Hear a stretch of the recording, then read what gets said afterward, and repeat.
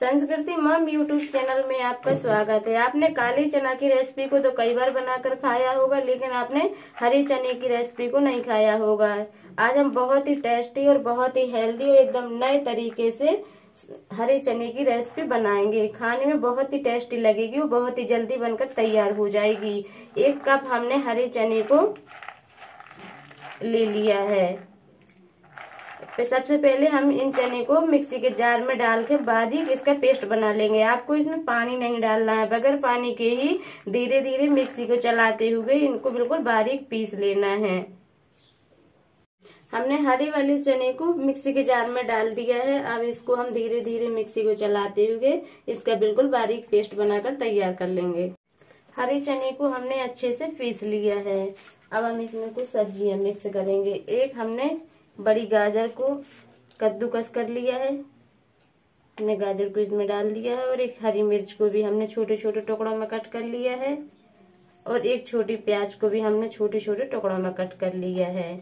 इसके अलावा यदि आपको कोई और सब्ज़ी डालना हो तो आप इसमें और सब्ज़ी भी डाल सकते हैं, जैसे बॉयल किया हुआ आलू और शिमला मिर्च। हम इसमें थोड़ा सा नमक डाल देंगे। नमक हमें इसमें बहुत ज़्यादा नहीं डालना है, थोड़ा सा ही डालना है। नमक डालने के बाद इन सारी चीज़ों को हम अच्छे से मिक्स कर देंगे। बाइंडिंग के लिए हम इसमें छोटे चम्मच से दो चम्मच बेसन डाल देंगे और बेसन को अच्छे से मिक्स कर देंगे। बेसन डालने से हमारे इस नाश्ता में अच्छे से बाइंडिंग आ जाएगी। देखो, हमारी सारी चीज़ें अच्छे से मिक्स हो चुकी हैं। देखो, हमने सारी चीज़ों को अच्छे से मिक्स कर दिया है। यदि आप इसमें सूखे मसाले डालना चाहते हैं तो सूखे मसाले को भी डाल सकते हैं। जैसे कि धनिया पाउडर, लाल मिर्च पाउडर, गरम मसाला। हमने इसमें कुछ नहीं डाला है। सिर्फ़ हमने तीखा करने के लिए इसमें हरी मिर्च गिली डाली है और सारी चीज़ों को हमने अच्छे से मिक्स कर दिया है। अब इसको हमें बहुत देर तक नहीं रखना है, क्योंकि इसमें हमारी प्याज और नमक डला है। जब प्याज में नमक डल जाता है तो जो हमारी प्याज है, पानी छोड़ने लगती है। जो हमारा पेस्ट है, वो गीला भी हो सकता है। अब हम इसका तुरंत ही नाश्ता बनाना चालू करेंगे।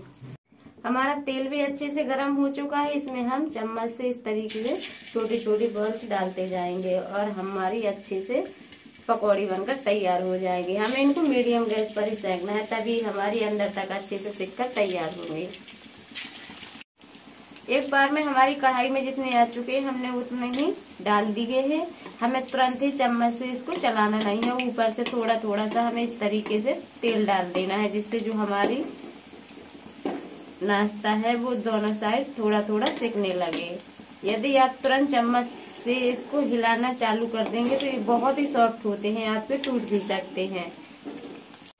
दोनों साइड हमने नाश्ता को अच्छे से पलट पलट के सेक लिया है। देखो हमारा कितना अच्छा कलरफुल नाश्ता बनकर तैयार हो चुका है। इनको हम एक प्लेट में निकाल लेंगे। आपको मीडियम गैस पर ही इनको अच्छे से पलट पलट के सेक लेना है।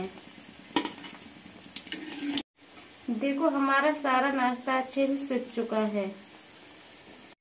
हमारा हरे चने का हेल्दी नाश्ता बनकर तैयार हो चुका है। बच्चों को तो इस तरीके का नाश्ता बहुत ही खाने में अच्छा लगता है। देखो, अंदर तक बिल्कुल सिक कर तैयार हो चुका है। बिल्कुल एकदम सॉफ्ट नाश्ता बनता है।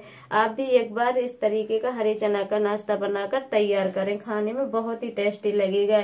इस समय हरे चने बहुत ही अच्छे आ रहे हैं। आप इनका नाश्ता ज़रूर बनाएँ। खाने में बहुत ही टेस्टी लगता है। दोस्तों, इस नाश्ता को आप बिना चटनी सॉस के भी खा सकते हैं। बिना चटनी सॉस का भी खाने में बहुत ही टेस्टी लगता है। एकदम बिल्कुल सॉफ्ट नाश्ता बनकर तैयार होता है। दोस्तों, यदि आपको हमारी वीडियो अच्छी लगी हो तो लाइक और सब्सक्राइब करना ना भूले। वीडियो देखने के लिए आपको धन्यवाद।